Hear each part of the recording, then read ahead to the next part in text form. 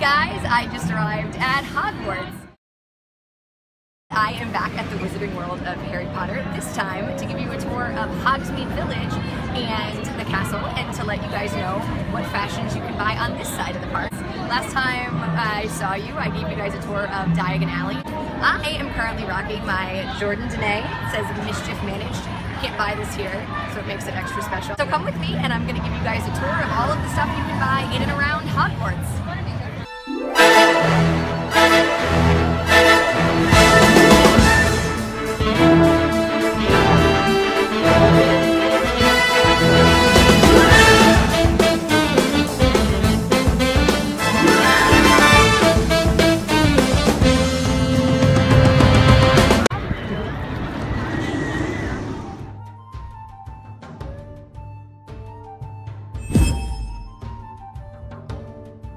I am outside of the Owl Post where they actually sell lots of really awesome Harry Potter Hogwarts gears. This is also where you can buy your school robes if you are on the Islands of Adventure side of the park. So come on in and I'll show you around the Owl Post.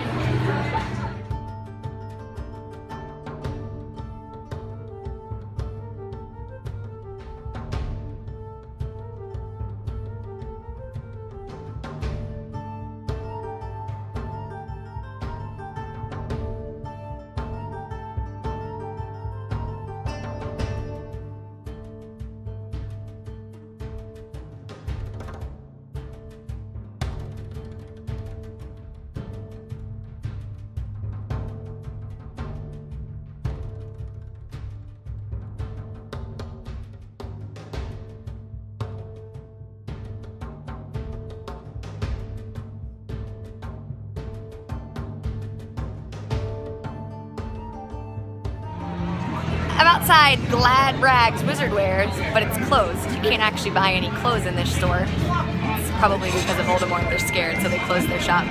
But that's where Glad Rags is. You can come look at it.